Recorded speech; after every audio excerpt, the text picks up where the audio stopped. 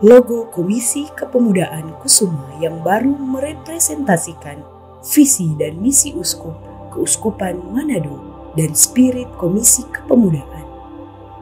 Divisualisasikan ke dalam logo yang setiap unsurnya memiliki makna di antaranya.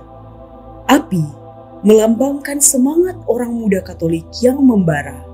Api adalah juga lambang Roh Kudus dan semangat cinta kasih Kristiani.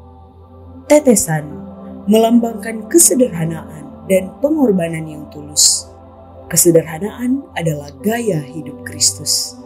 Salib melambangkan kemenangan, juga simbol pengorbanan Kristus.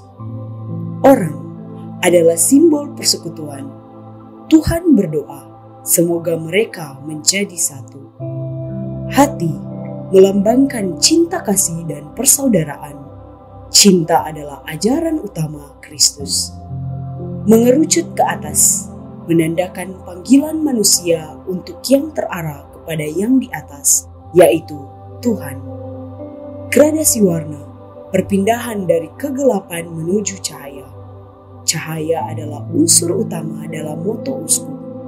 Cahaya juga adalah lambang Tuhan sendiri yang mengungkapkan dirinya sebagai cahaya dunia. Warna kuning. Kuning adalah warna utama bendera Vatikan. Kuning adalah warna yang hangat dan bahagia yang menciptakan rasa keceriaan dan rasa ingin bermain. Warna kuning identik dengan sesuatu yang bersinar. Secara psikologis, warna kuning berarti optimis, mencerahkan, dan fun.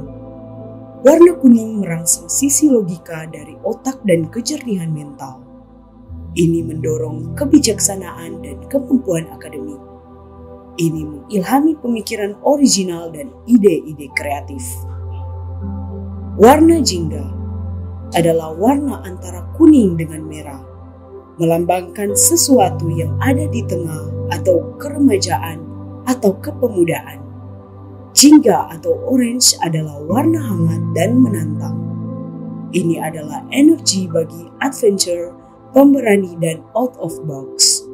Dalam psikologi warna orange berarti petualangan, rasa percaya diri, pergaulan luas, optimisme, fun, dan entertaining.